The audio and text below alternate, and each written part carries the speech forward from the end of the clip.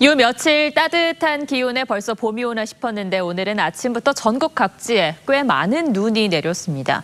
내일까지 이 눈이 이어지고 기온도 뚝 떨어진다는데 지금 이 시각 날씨는 어떤지 취재 기자에게 물어보겠습니다. 자, 윤재민 기자.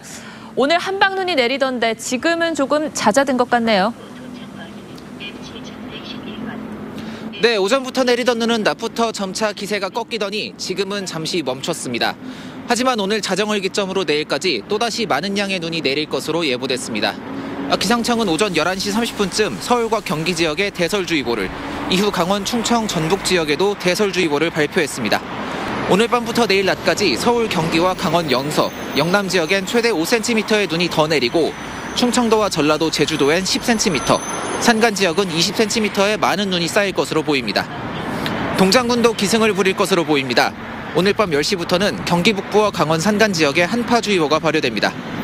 내일 아침 대관령은 최저 기온이 영하 11도까지 떨어지고 서울 영하 6도, 춘천 영하 6도, 대전 영하 2도, 광주 영하 1도 등 전국 대부분 지역이 영하권으로 떨어집니다. 강한 바람까지 불면서 서울 체감 온도가 영하 11도까지 떨어지는 등 비교적 포근했던 날씨 때문에 더 춥게 느껴질 것으로 보입니다. 이번 추위는 화요일까지 계속됩니다. 서울이 영하 8도까지 떨어지는 등 전국이 춥겠습니다. 수요일부터는 평년 기온을 회복할 전망입니다. 지금까지 서울 광화문에서 TV조선 윤재민입니다.